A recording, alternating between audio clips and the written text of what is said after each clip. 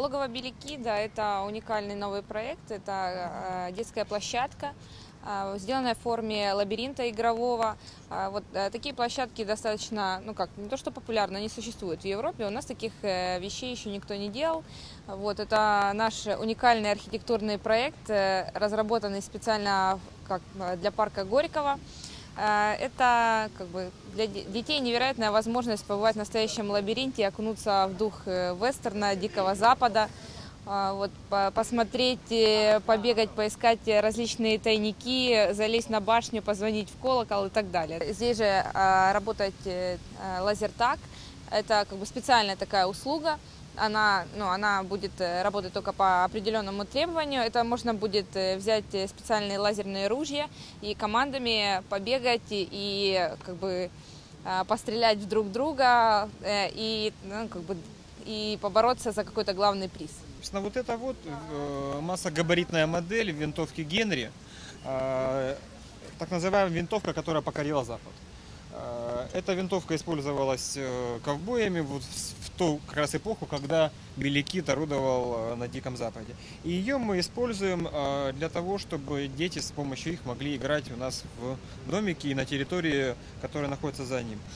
Это лазертаг новая забава, то есть она абсолютно безопасна, здесь нет никаких стреляющих элементов, здесь лазерный луч, опять же безопасный для глаз, который, э, которым нужно попасть в специальный датчик, расположенный на, э, на налобной повязке игрока. Я ее не взял, к сожалению, но тем не менее. То есть это выглядит вот таким вот образом. Э, Здесь зап- запрограммированы звуки выстрела, запрограммированы разговорные там какие-то фразы, там вперед, ранен и так далее. И ребенок играет таким вот образом.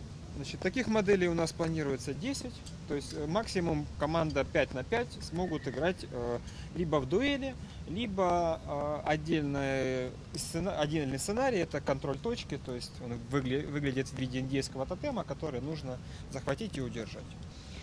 На самом деле этажность здесь определить достаточно сложно. Здесь ломаная э, конструкция, то есть э, постоянно меняются уровни. И в принципе на самом деле в этом фишка этого лабиринта, что все платформы можно пройти несколькими способами. Э, Можно залезть по приставной лестнице, можно по наклонному пандусу, там, по узкой лестнице пробраться, на канате перепрыгнуть и так далее. То есть э, это тот самый м, случай, когда не скучно в несколько раз подряд проходить одно и то же место. Эти канаты э, специально сплетены, это э, сродни тем канатам, которые используются в школах на уроках физкультуры. То есть они, в принципе, выдержат достаточно взрослого человека. Там у них запас про- прочности изрядный. Мы здесь реализовали принцип многоступенчатости. То есть, открывая один тайник, э, вы находите в нем ключ к другому тайнику. Вот смотрите, значит, в данном случае у нас ребенок тянет тут.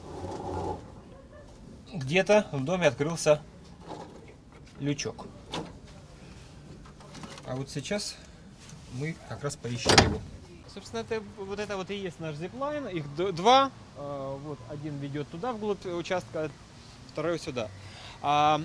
Здесь будут разные модели сидений. То есть э, здесь планируется, ну, по сути, как шайба такая, да, на которую ты садишься вот так вот ногами и съезжаешь. А с этой стороны э, планируется остановить что-то типа сиденья, вот такого обычного качель, да, на качелях, которые мы используем. И точно так же ты съезжаешь вниз, там будут установлены специальные маты мягкие, которые ребенок даже если вдруг э, не успеет затормозить ногами, он тормозит. Ну а дальше просто приводишь э, троллей назад и можно покататься вновь. Будет у нас еще расширяться площадка, по которой можно будет э, бегать. Э, Там появится еще домик на дереве, появятся еще некоторые там качели. Все очень интересно, все необычно. Ну, как бы для того, чтобы завершить проект полностью, мы просто решили сделать это конкретным таким комплексом.